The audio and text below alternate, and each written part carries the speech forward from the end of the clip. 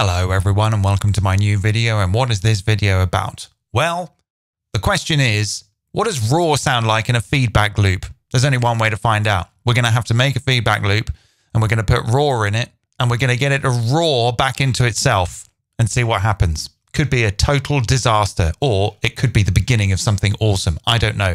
But we're going to find out. A couple of things we're going to need to do first. Let's go to our main channel, put a limiter on there. This is very important you don't do that, you're going to kill everyone. So let's go to our return track and rename it Roar. I'm going to go down here, right click the send and go enable all sends. This will enable me to send the send back into itself and create total carnage with Roar.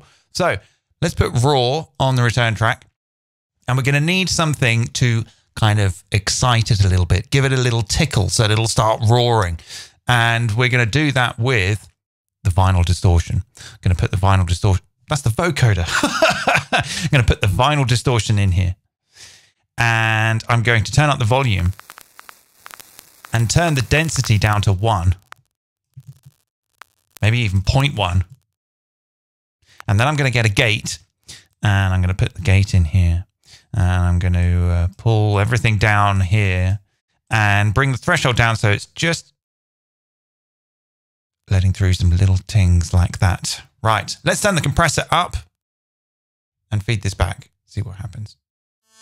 Wow, I'm already very scared. Ah, right, okay. Wow.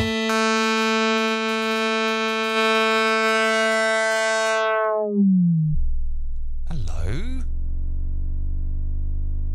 Okay, the gate is now effectively useless. Let's get rid of that. Wow. All right. Let's ping this open. Woo. Okay, that is very loud. Let's turn that down there. Right, so we've created a feedback loop with Roar.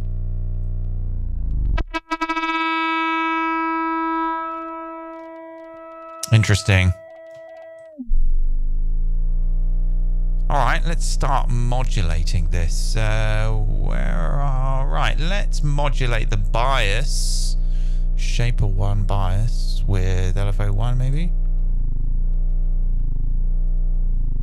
Alright, let's hit resample. Yeah, tasty. Let's go back in here. Do the frequency with LFO 2 maybe? Let's see if we can find that there. Okay.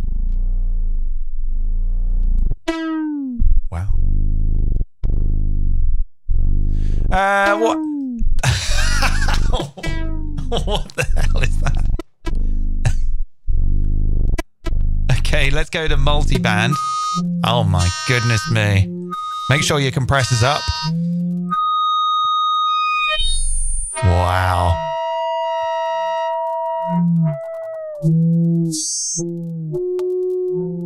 All right, let's add some noise to the frequency of the mid-range. So where's that? There. Okay, let's add the noise. Let's turn that to free.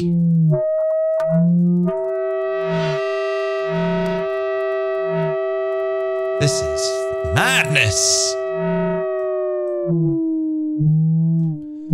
Different um shaper models here. All right, let's see if we can find the LFO. If I can just find it through this tiny little slot here. This is like a like a peephole into the into the brown. Right, okay, let's go. Oh, let's just do Command F L F O. There we go. Let's bring this in, and let's um set this to random. Oh, some different ones. What's stray? Interesting. Glider. Oh, I, I want random though. Let's map random to the shaper on. That worked? Oh. Oh, that's interesting. Ah, uh, okay. We can't do that. Never mind, eh? We'll leave it there though. Let's try some different.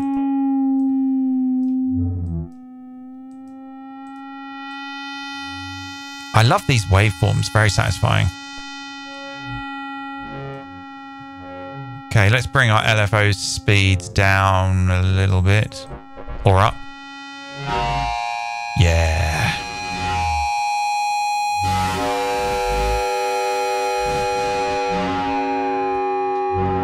Yeah, this is tasty. I'm having fun.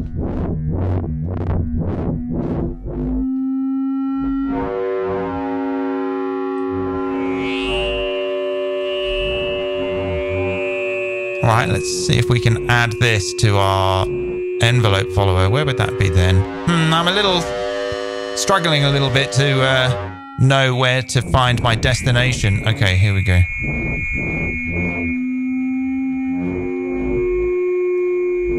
All right, let's try it with this weird delay business.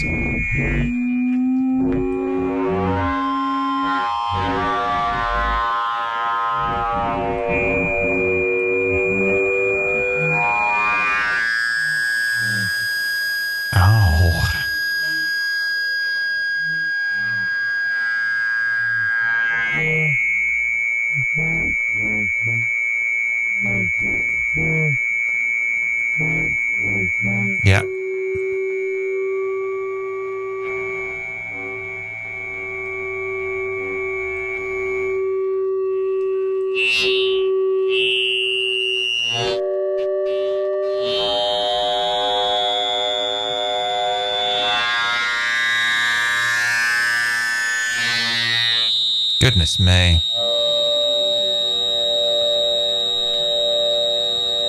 Okay, this is it.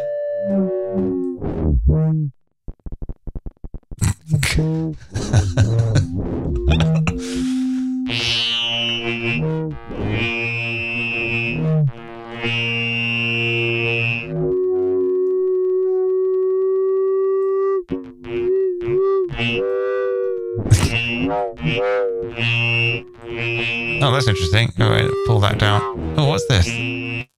Little solo button there for the envelope. I wonder what that's all about.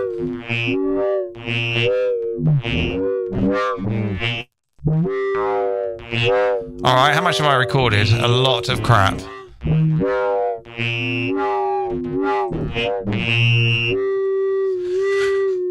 It sounds like it's sometimes it's roaring and sometimes it's whimpering a little bit.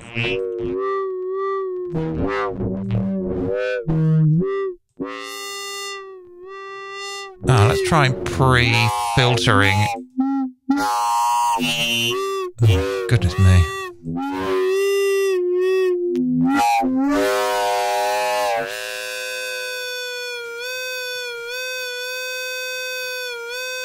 Yeah. This is all just getting pretty much into straight feedback nonsense now.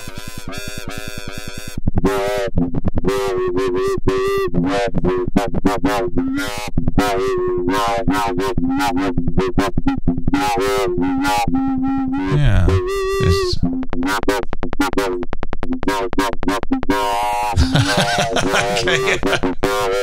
Well, I feel like um, I feel like it's trying to communicate with me. I'm not really too sure. I think it's saying in some strange language, you'll never make it as an artist. No one likes this kind of free jazz noise crap. Go back to your covers band. That's where the real money is. Oh!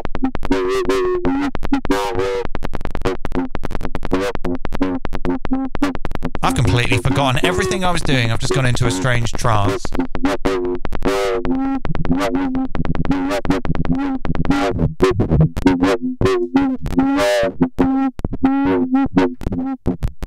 Yeah.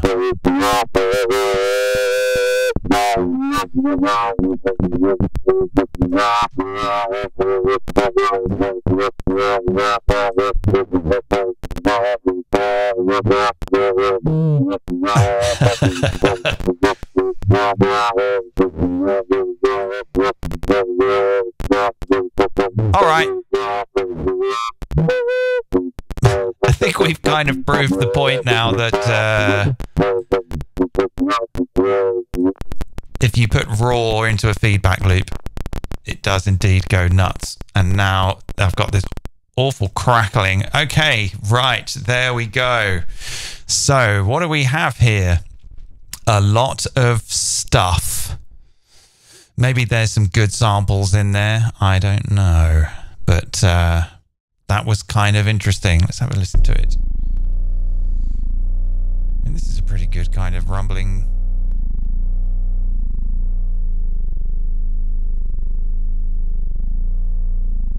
I guess when maybe one thing we could do is sort of take like take like some of this. That's still going. Let's turn that off. We could take like some of this. Maybe let's just get this bit. Let's listen to this bit here. So, oh my goodness me.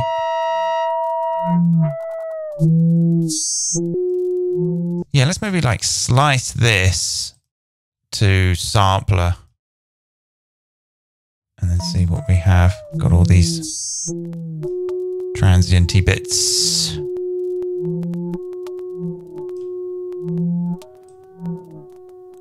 Then let's maybe um, pull the grid down, quantize them. Ooh, okay. Let's get them all on the same grid. Uh, why won't they go there? All right, we'll go here then. Right. And then um, how many bars is this? Four bars. All right, let's legato those. And then see what happens if we like arpeggiate them in a random way.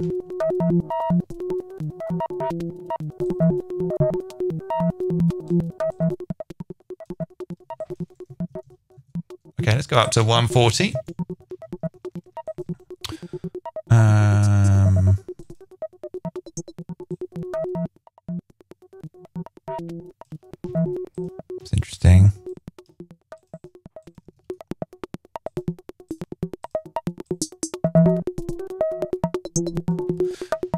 That's a very interesting uh, percussion thing, I suppose.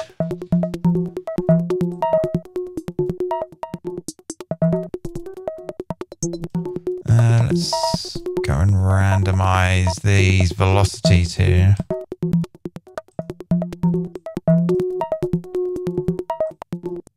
Let's pull the voices down to four.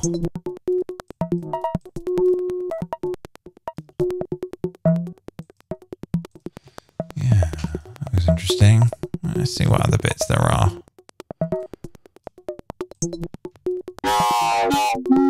Goodness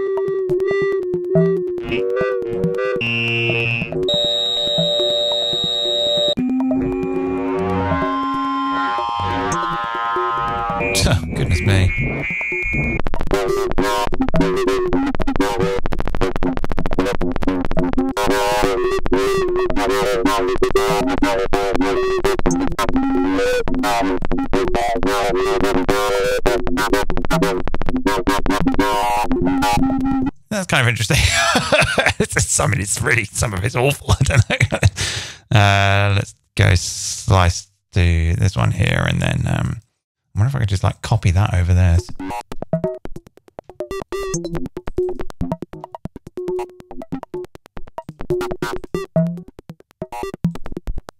Ah, okay. Uh, oh, there we go.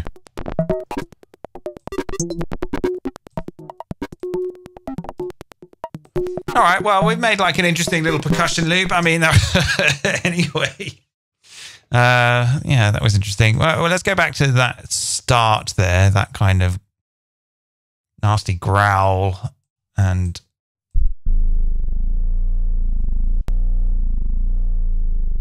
maybe we can find like a really small part of this. Yeah, that. Let's just put that in in wavetable and see. Oh, let's clear our um clear our search. Put this into wavetable. I'll take a copy of this here and I'll crop that and drag that into wavetable. You can let me do that? Yeah, there we go.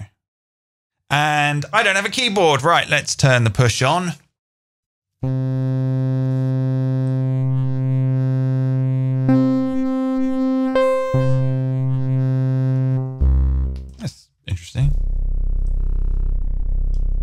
Quieter than everything else.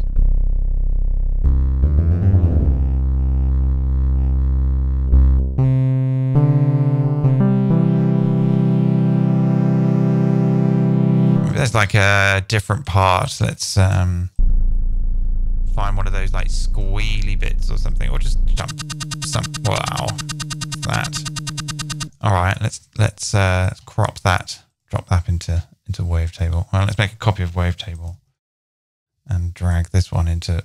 Oh, why do I do that here? Yeah.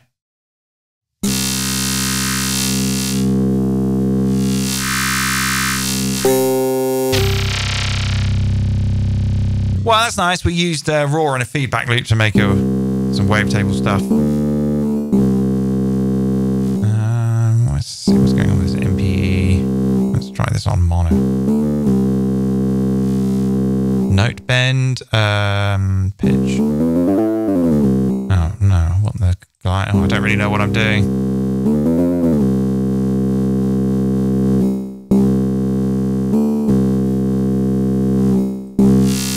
There we go.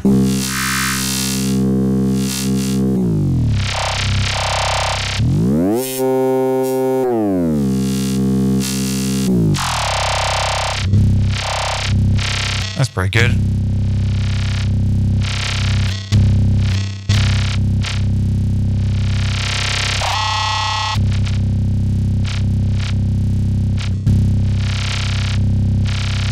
All right, I'm zoning out. Um, that's it. I'm done. So there you go. That's what can happen if you can put Roar in a feedback loop, and then you can maybe crop some bits out and make wavetables out of it. Wasn't that fun? Gonna go put this on my Patreon now. See you next time. Bye.